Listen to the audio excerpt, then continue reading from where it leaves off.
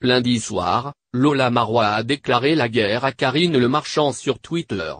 Très remontée, la femme de Jean-Marie Bigard avait dit tout le mal qu'elle pensait de l'animatrice de l'amour et dans le pré. Je ne serais plus Lola si je ne disais pas ce que je pense débutait alors la comédienne de Plus belle la vie, je hais, j'exècre, je vomis Karine Le Marchand.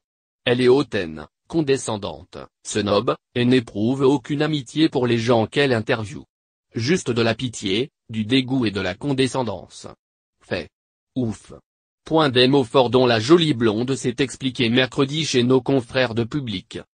Ayant dans un premier temps préféré garder le silence sur cette affaire, Karine Le Marchand a fini par réagir ce mercredi en commentaire de l'une de ses photos Instagram.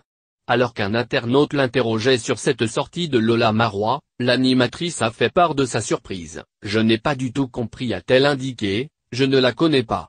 Et j'aime bien son mari aux grosses têtes. C'est pas grave. Karine Le Marchand affirme donc même ne jamais avoir fait la rencontre de Lola Marois. Reste à voir si la femme de Jean-Marie Bigard réagira de nouveau à ces déclarations.